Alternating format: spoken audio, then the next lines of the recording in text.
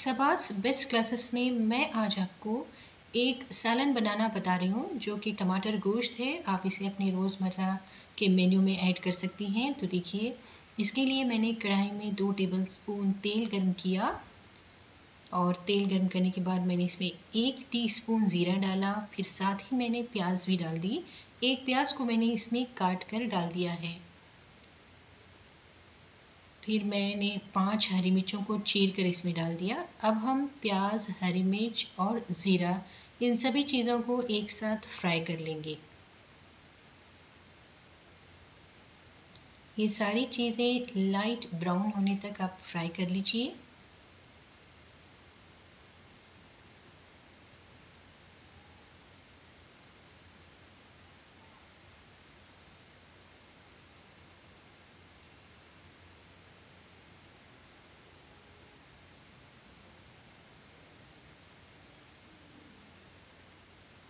देखिए, ये फ्राई हो चुकी हैं। अब मैं इसमें दो इंच की हलमी और चार हरी इलायची, चार लौंग और पाव टी स्पून शाहजीरा डाल दूँगी।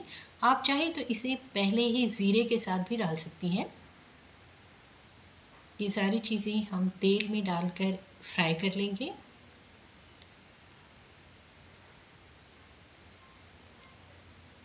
और जब इसकी खुशबू आने लगेगी, तब हम इसमें अदरक लहसुन पेस्ट डालेंगे। मैंने एक टीस्पून अदरक लहसुन पेस्ट डाल दिया। अदरक लहसुन पेस्ट अगर फ्रेश हो तो ज़्यादा बेहतर रहेगा। देखिए, अब हम इसमें पाव टी स्पून हल्दी डाल रहे हैं।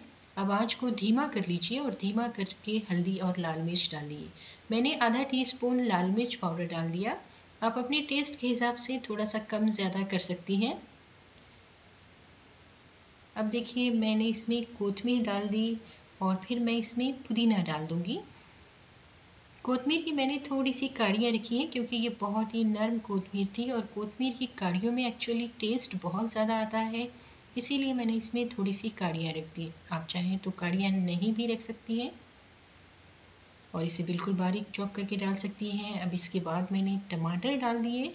टमाटर, ये चार से पाँच टमाटर हैं। अगर बड़े टमाटर हों तो सिर्फ़ चार टमाटर लीजिए और छोटे हों तो पाँच टमाटर ले लीजिए और इसे आप काट कर इसमें डाल दीजिए। देखिए, मैं इसे भून रही हूँ। आप इसे तेज़ आँच पर भूनते रहिए। अभी तक हमने तेज़ आँच रखी है, सिर्फ़ लाल मिर्च और हल्दी डालते वक्त हमने आँच को धीमा किया था ताकि वो जल ना जाए। अब हमें टमाटर को नरम होने तक पका लेना है। यानी टमाटर जब तक गलते नहीं है, तब तक हमें इसे पका लेना है। आप चाहें तो धीमी आँच करके, ढक्कन ढाक कर टमाटर के गलने का इंतज़ार कर सकती हैं और गला सकती हैं। देखिए, मैंने इसे गला लिया है। अब टमाटर हमारे गल चुके हैं।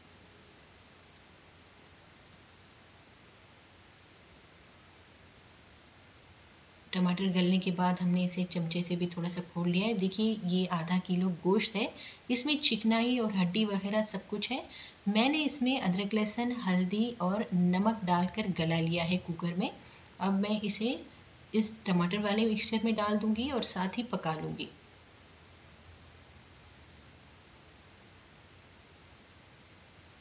आप इसे अब तेज़ आँच पर भूनते रहिए।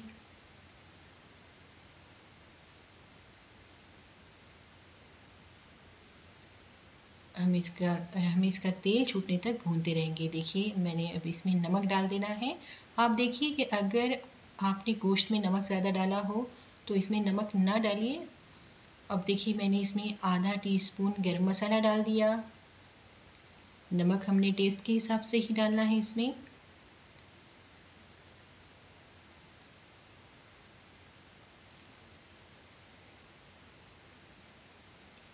इसे आप तेज़ आँच पर पका लीजिए।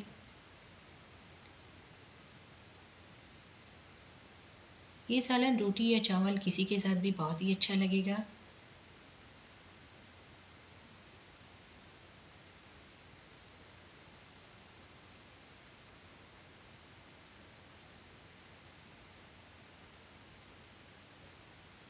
देखिए, हमारे टमाटर भी अच्छी तरह से गल चुके हैं और गोश्त भी गोश्त भी इसमें अच्छी तरह से गल रहा है।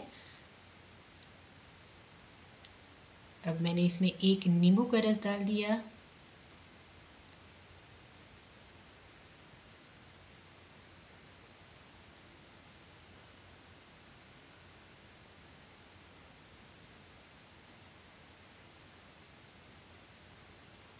जब इस तरह से साइड से तेल निकलना शुरू हो जाएगा तो समझिए कि आपका सालन तैयार हो चुका है। अब सिर्फ़ आपको इस पर कोतमी डालनी है और सर्व करना है। अगर आपको ये रेसिपी पसंद आ रही हो तो इसे लाइक कीजिए और सबास बेस्ट क्लासेस को ज़रूर सब्सक्राइब कीजिए। ताकि आप रोज़मर्रा और दावती खानों को आसानी से सीख पाएँ। तो थैंक्स फॉर वॉचिंग सबास बेस्ट क्लासेस